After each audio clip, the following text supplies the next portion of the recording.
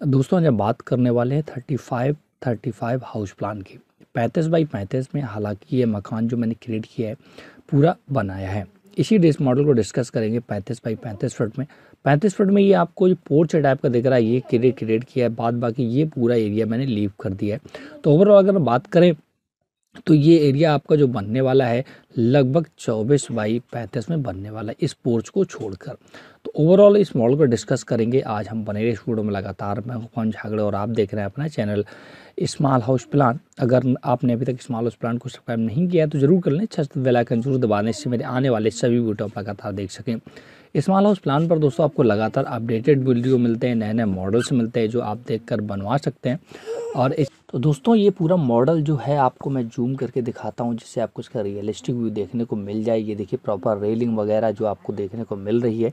और ये पोर्च जो है, अब इसके अगर हम ग्राउंड फ्लोर की बात करें तो ये इसका ग्राउंड फ्लोर है, जहाँ पर एक पोर्च डिज़ाइन मिलता है विथ बीम के, जो कि स्लोप वाला बीम है, चार पिलर मिलते हैं आपको। और ये पूरा पोर्च से आपकी एंट्री है। साथ में अगर साइड की अगर हम बात करें, इधर से आपको ये विंडो डिज़ाइन है, ये आपका मेन डोर है, जहाँ से एंट्री करेंगे। और साइड में भी मैंने विंडो दी है क्योंकि तीसरी साइड से क्लोज्ड है। तो जैसे मेन रोड से एंट्री करते हैं तो आप देखिएगा यहाँ पर आ जाते हैं ये आपका किचन एरिया जिसमें मैंने फ्रंट से विंडो दी है। किचन के लिए डोर है।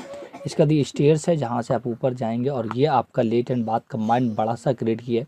ये दो बेडरूम आपको मिलते हैं साइड में। दोनों साइड में मैंने इसलिए विंडो दिया है वेंटिलेशन के लिए, और अंदर से डोर दिया है। और ये पूरा एरिया आपका ओपन रहता है। ये आपका पोर्च एरिया है। ये आप देख पा रहे होंगे प्रॉपर तरीके से। मैं से और जूम करता हूँ। जैसे ये पिलर दिए हैं।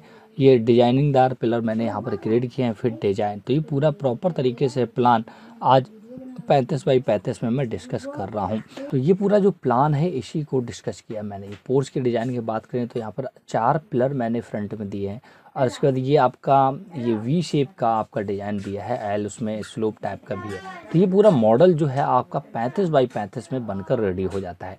लास्ट फ्लोर की अगर बात करें तो लास्ट फ्लोर पर कुछ भी डिज़ाइन नहीं किया। चारों तरफ़ साढ़े तीन फीट का बाउंड्री और अगर इधर की बात करें, जिस तरफ़ ओपन इधर तीन फीट का छज्जा, आगे भी तीन फीट का छज्जा और साइड में भी तीन फीट का छज्जा मैंने दिया है और इसके बाद ग्रिल यूज़ कर दी, जो कि नॉर्मल सी ग्रिल है। ज़्यादा मैंने यहाँ पर वेल डेकोरेट नहीं किया है, क्योंकि इसमें फिर आपका पैसा ज़्यादा लगता है घर बनवाने में। तो ये बहुत ही बेहतरीन सा प्लान और ये तो ओवरऑल अगर हम बात करें इधर से जो पैंतीस फिट है, ये ये पूरा पैंतीस फिट है और ये फ्रंट पैंतीस फिट है। ये लेकिन पोर्च सिर्फ़ मैंने क्रिएट किया है पैंतीस बाई पैंतीस में। ये एरिया आपका पूरा मैंने छोड़ दिया है। आप पे डिपेंड करता है आप यहाँ पर क्या बनवाना चाहते हैं वगैरह।